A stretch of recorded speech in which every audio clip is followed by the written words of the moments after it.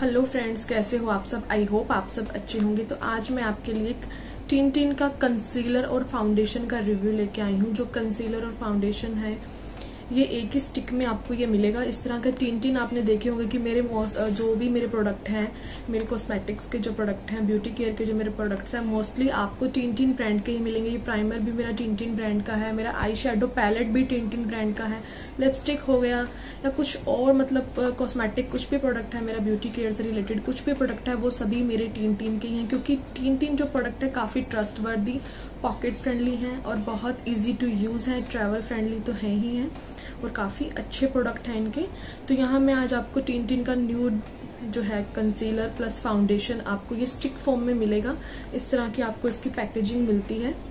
इस तरह की। ये देख लीजिए। इस तरह की आपको ये पैकेजिंग मिलेगी और इस तरह का अंदर से ये प्रोडक्ट मिलता है आपको। इस तरह से जैसे लिपस्टिक होती है ना जैसे लिपस्टिक होती है, उस तरह से ये ओपन होता है और काफ़ी क्वांटिटी अच्छी क्वांटिटी में आपको ये मिल जाता है इजीली ये देख लीजिए। अच्छी क्वांटिटी है इसकी 6.5 ग्राम की इसकी क्वांटिटी है। और 250 जो है इसका प्राइस है। काफ़ी अच्छा है न्यूड शेड है। मेरी जो शेड नंबर है वो है ज़ीरो टू आप अपनी स्किन के अकॉर्डिंग इसका शेड नंबर ले सकते हैं वन ले सकते हैं टू ले सकते हैं थ्री है, जो आपकी शेड के अकॉर्डिंग होगा, आपको वही लेना पड़ेगा। बट आपको इसका जो स्टिक का यूज़ करने का मेथड है, वो पता होना चाहिए कि आपको कैसे यूज़ करना है, कैसे इसे अपनी स्किन में ब्लेंड करना है तो वो आपको देखना है कि इसे कैसे लगाना है। तो यहाँ सबसे पहले मैं यूज़ कर रही हूँ टीन टीन का प्राइमर अगर आप कुछ भी फाउंडेशन या कंसीलर यूज़ करते हैं तो उससे पहले आपको प्राइमर लगाना बहुत ज़रूरी है, ताकि आपकी जो स्किन है एकदम से स्मूथ और सॉफ्ट हो जाए। और जो बाद में आप फाउंडेशन या कंसीलर कुछ भी अप्लाई कर रहे हैं तो वो ईज़िली आपकी स्किन में अच्छे से एब्जॉर्ब हो जाए और स्टिकी भी ना लगे और काफ़ी ऑयली भी ना लगे तो आपकी जो स्किन है काफ़ी स्मूथ काफ़ी शाइनी लगेगी अगर आप प्राइमर यूज़ कर लेते हैं फाउंडेशन या कंसीलर अप्लाई करने से पहले।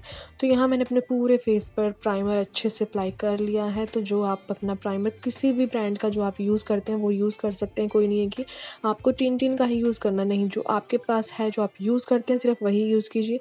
दो तीन सेकेंड के लिए इसको ऐसे ही रखना है प्राइमर को। देन आपको जो आप ये टीन टीन का जो मेरा न्यूड शेड है सेकंड नंबर टू नंबर की जो है कंसीलर वो मैं यूज़ कर रही हूँ। कैसे इसे अप्लाई करना है और कैसे इसे अच्छे से अपनी स्किन में एब्जॉर्ब और ब्लेंड करना है, वो आपको ध्यान से देखना है।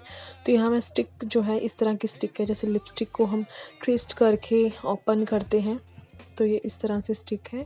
और आप कलर इसका देख सकते हैं, मेरी स्किन के साथ अच्छे से ये मैच होने वाला कलर है तो अपनी स्किन को पहले डैप डैप कर लिया है मैंने, ताकि जो प्राइमर है वो अच्छे से सेट हो जाए स्किन में। देन आपको इस तरह से डॉट डॉट करके अपने पूरे फेस पर इसे अप्लाई करना है। लिप्स के अराउंड अच्छे से अप्लाई करें आइज़ के अराउंड काफ़ी अच्छे से अप्लाई करें, क्योंकि नोज़ आइज़ और लिप्स के अराउंड ब्लैकनेस जो होती है, वो ज़्यादा होती है। तो अपने आपको पूरे फेस पे इस तरह से डॉट डॉट लगाने हैं नेक भी कवर करनी, क्योंकि फेस नेक और ईयर्स जो हैं, वो हमारे बिल्कुल इक्वल दिखने चाहिए अदरवाइज़ जो है वो अलग अलग लगने लगेगा। तो यहाँ मैं ब्यूटी ब्लेंडर का यूज़ कर रही हूँ। आप अपना कोई ब्रश मेकअप ब्रश जो होते हैं वो यूज़ करते हैं तो वो भी यूज़ कर सकते हैं इसे ब्लेंड करने के लिए। बाकी अगर हम ब्यूटी ब्लेंडर यूज़ करते हैं तो उससे ज़्यादा बेटर अच्छे तरीके से जो है ये हमारे स्किन में अब्जॉर्व हो जाता है, हमारे फेस पर अच्छे से ये स्प्रेड हो जाता है। तो आपको इसे अच्छे से वॉश कर लेना है ब्यूटी ब्लेंडर को इसके स्क्वीज़ करना है और देन इसे डैप टैप करके नेक पर ईयर्स पर, साथ में ईयर्स पे भी आपको हल्का फुल्का टचअप देना है इस कंसीलर का ताकि जो फेस है नेक है और ईयर्स हैं वो इक्वल लगे।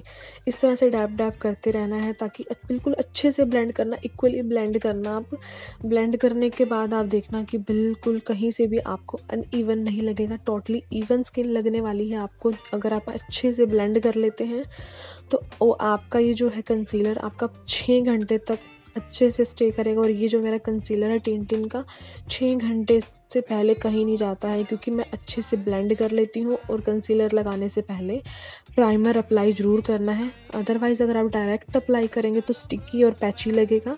तो पहले प्राइमर यूज़ ज़रूर करें। प्राइमर इज़ मस्ट तो आपको इस तरह से डैप डैप करते करते अच्छे से अपने पूरे फेस पे देखिए ब्लेंड हो गया है। डिफरेंस आप देख ही सकते हैं। विदाउट मेकअप और विद मेकअप आप देख ही सकते हैं। अच्छे से ये मेरी फेस पे अच्छे से स्प्रेड हो गया है ब्लेंड हो गया है। कहीं से भी अनइवन आपको नहीं लगेगा। जैसे ये कॉर्नर बना हुआ है ब्यूटी ब्लेंडर का तो वहाँ से आप आइज़ पर भी अच्छे से डैप डैप करके कॉर्नर तक इजीली आप अपने फेस पर इसे स्प्रेड कर सकते हैं। और मैं आपको अभी इसका फाइनल लुक दिखाती हूँ। कितना क्लीन लग रहा है, कितना मेकअप मतलब बहुत अच्छा हो जाता है ब्यूटी ब्लेंडर से। और ये कंसीलर वाकई में ही बहुत अच्छा है, आप देख ही सकते हैं। कहीं से भी अनइवन नहीं लग रहा, बिल्कुल इक्वल है, आप खुद देख सकते हैं। नेक ईयर्स और पूरा फेस जो है बिल्कुल इक्वल लग रहा है, कहीं से भी अलग नहीं लग रहा है। सो अगर आपको वीडियो अच्छी लगी तो थैंक्स फॉर वॉचिंग